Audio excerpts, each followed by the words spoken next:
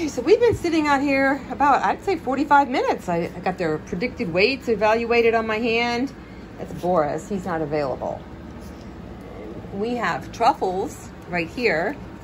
She is available. She's puppy number four on my website. And here, and we've just been doing all kinds of things out here, haven't we? We've been cropping pictures, taking pictures, um, cutting nails, blowing off steam. Excuse me. They were way crazier when I first brought them out here. And they're quite calmed down now. This one's puppy number 13. She's the oldest one and the smallest one. And Ginger, are you hiding? Huh? Ginger. They kind of freak her out. Ginger. I'm keeping Ginger. Yeah, I decided I'm keeping her. I was kind of offering her for sale, holding her back, and I really couldn't decide because I wasn't sure she was going to be big enough, and she is. She's perfect. Absolutely perfect. Like you, Boris. Okay, and then we have number three right here, and her name is Tika. Not to be confused with her brother who left here about a week ago named Tico. That's where I got the name from. She got used to hearing Tico, and I thought, oh, Chica Tika.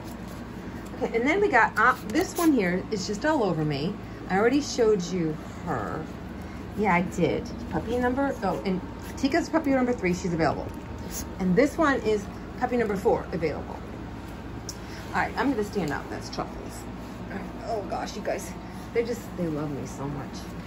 They really love their mama. Don't you? And do you guys love all the people that you meet too? Sure you do. Yeah, they're sweet. They're very sweet. yes, Tika. Yeah, little Tika. Okay, who do we got? All right, come here, guys. We're gonna be going back in. Your puppy playtime's almost over. Yeah, it's almost over. Your puppy playtime. I know that upsets you. I know.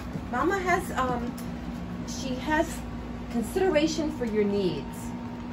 That is what your mama has. yes, Boris. I know.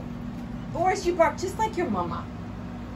Just, just like your mama. Hopefully, you're not afraid of boxes like your mama because she hates boxes. I even, I know it sounds mean, but I put her in a box and then put the box inside of a box. And I, I did it for like, I don't know, five minutes because I was trying to break her and make her not be afraid of a box. And I had food, you know, like treats in there. She didn't touch the treats. and it didn't help her. She does not, I don't know what to do to break her.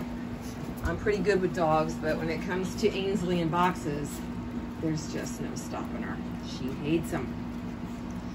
Hates boxes. Where's Ginger? Ginger, what are you doing over there? Are you overwhelmed? Ginger. She's some dogs they and puppies, they just when they see the camera, they just don't it's like they don't want to do with it. Kind of like a box. They see a box and they don't like a box and they don't like a camera. Yes. Oh, and I am going to have um, a litter, two, actually two litters, hopefully. It looks like they're both pregnant. And they are going to be due around the end of October, beginning of November. So we will have more puppies and more puppy playtime.